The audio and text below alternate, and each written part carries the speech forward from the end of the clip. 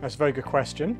So firstly, masks are really important for healthcare workers because it can protect them against getting infection when they're treating people who are sick with coronavirus. And if we have limited supplies, let's make sure that healthcare workers can get it.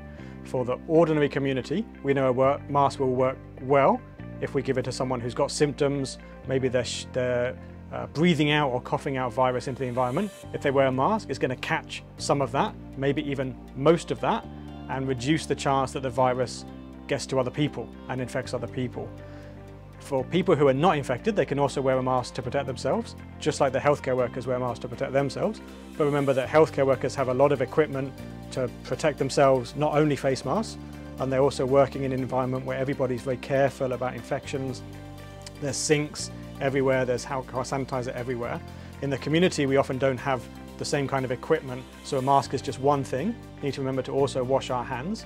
But if we, if we wear the mask properly, we also wash our hands uh, as much as we can, we will reduce our risk of infection.